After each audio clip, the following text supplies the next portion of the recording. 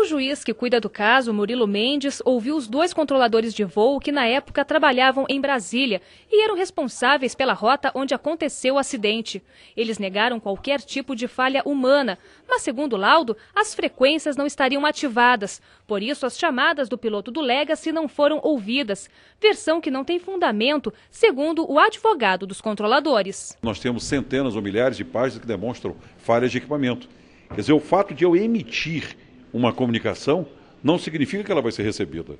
A minha emissão não significa que ela se transforme em comunicação, que eu posso falar e não chegar ao destinatário.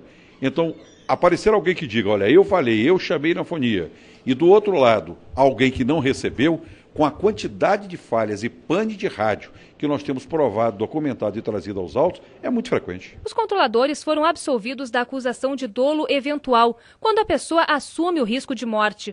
Mas um deles, João Marcelo, ainda responde na Justiça Militar por homicídio culposo. Já Lucivando responde na Justiça Federal apenas por negligência. Amanhã e quinta, os pilotos do Legacy também devem ser ouvidos por videoconferência no Ministério da Justiça. Quando a defesa exerce o direito dela de se defender, isso é bom para a defesa e é bom para o processo. Né? Agora, a avaliação que eu faço, eu vou fazer a avaliação na sentença, né?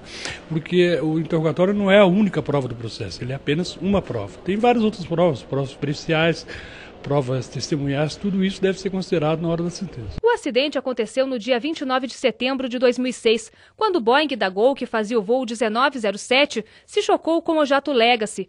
Todos os 154 tripulantes do avião da Gol morreram. Os dois ocupantes do Legacy sobreviveram.